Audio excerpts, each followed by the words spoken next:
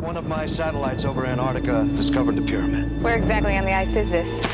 It's 2,000 feet under it. Did you hear that? What was that thing?